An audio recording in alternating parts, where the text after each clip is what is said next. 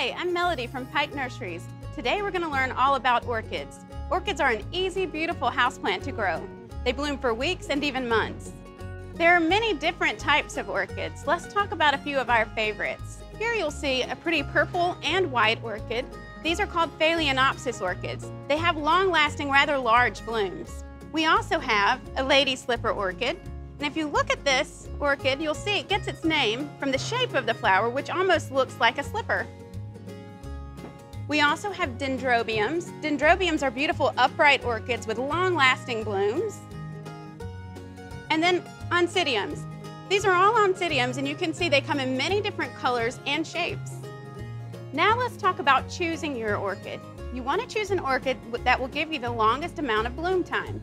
The best way to achieve this is by choosing an orchid that has half blooms and half unopened buds. Let me show you an example here.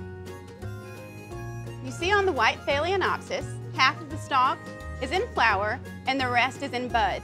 This will give you a long bloom time. Now, of course, if you're planning on entertaining, having a party, and you want a big punch of color, you can choose one that's further open, like this example here. Orchids grow naturally in rainforests on trees. That's why you'll see many of them are planted in bark. They also receive dappled light during the day under the canopy of the trees. So in your home, place your orchids in a spot that gets bright, indirect light. You'll know they're getting too much light if you see the leaves starting to turn brown. Maintaining your orchids at home is extremely easy. They only need to be watered every 10 to 14 days. When you're ready to water your orchid, remove it from its decorative container. Take the pot over to the sink and water it thoroughly, letting it soak and then letting it drain. Repeat this again, water thoroughly, let it soak, and then drain. Then you're ready to take it back to its container.